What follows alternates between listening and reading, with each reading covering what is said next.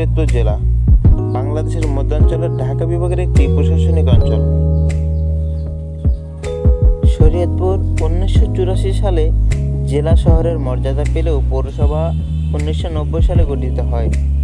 তখন এর আয়তন ছিল পঁচিশ দশমিক পঞ্চাশ বর্গ কিলোমিটার।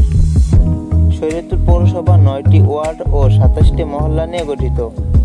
প্রতি ওয়ার্ডের জন্য সরকারি ভোটে নির্বাচিত একজন কাউন্সিলর থাকেন।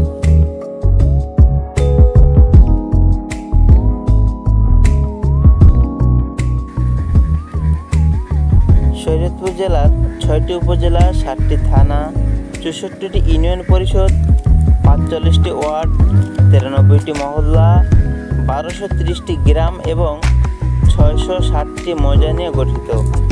এই জেলার উপ, উপজেলাগুলো হলো জাজিরা উপজেলা শরীয়তপুর সদর উপজেলা, গোসাইরহাট উপজেলা ডামুড্ডা উপজেলা, বেদরগঞ্জ উপজেলা, নড়িয়া উপজেলা, সখীপুর থানা।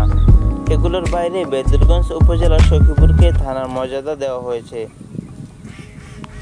শরীয়তপুর জেলার নামকরণ। বাংলাদেশের স্বাধীনতার পর উনিশশো ছিয়াত্তর সালে সিদ্ধান্ত গৃহীত হয় যে মাদারীপুরের পূর্বাঞ্চল নিয়ে একটি নতুন মহকুমা গঠিত হবে।